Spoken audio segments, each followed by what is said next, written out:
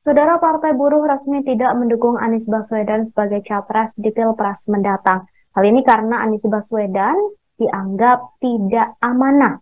Setelahnya Partai Buruh memunculkan nama Prabowo Subianto sebagai kandidat capres yang akan didukung pada pemilu 2024 mendatang.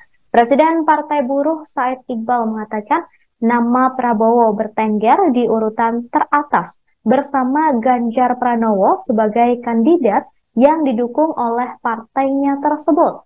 Prabowo dan Ganjar disebut sama-sama mendapat dukungan dari pendiri dan struktur serikat buruh di 12 provinsi.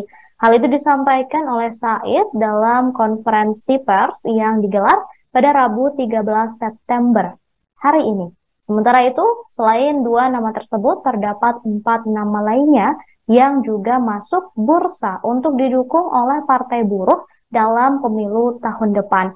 Nama-nama itu antara lain yakni Said Iqbal yang mendapat dukungan 8 provinsi, kemudian Najwa Shihab, Rizal Ramli, dan Rocky Gerung yang sama-sama mendapat dukungan dari dua provinsi.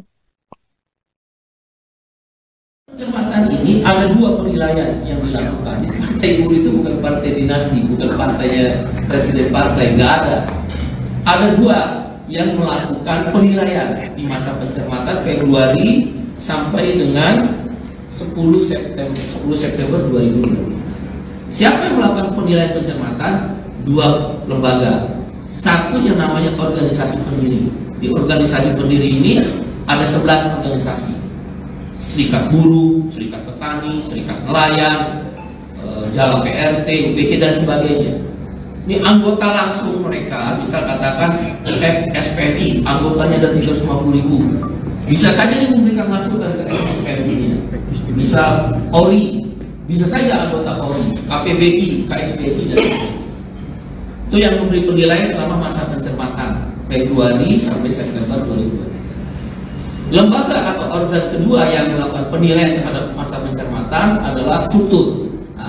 Itu ada exco pusat, exco partai, provinsi partai buruh, exco eh, kabupaten kota partai buruh, dan bahkan exco kecamatan, saya partai, dan beberapa struktur yang independen lainnya. Jadi ada dua organ. Satu sekali lagi organisasi pendiri, ada 11 organisasi.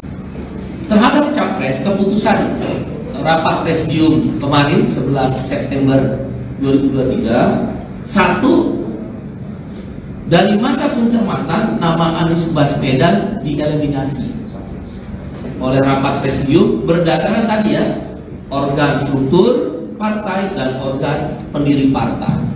Kalau organ struktur lebih kepada pengurusan kalau dan e, anggota KTA sedangkan organ